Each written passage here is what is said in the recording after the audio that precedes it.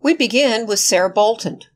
Born in Kentucky in 1814, Sarah and her family moved to Indiana when she was three years old. At age 13, one of her poems was published in the Madison Banner, launching her career as a poet.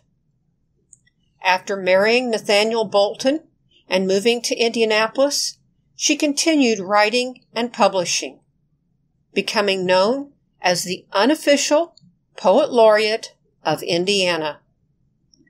Two of her best known poems are Indiana and Paddle Your Own Canoe.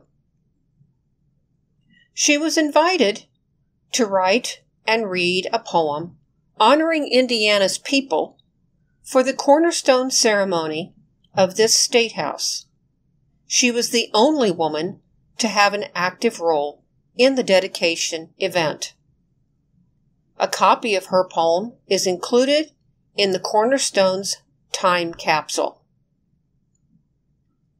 As a women's rights activist, Sarah lobbied the Indiana legislature and, in collaboration with Robert Dale Owen, a co founder of the New Harmony community, secured property rights for women as a part of the new 1851 Constitution.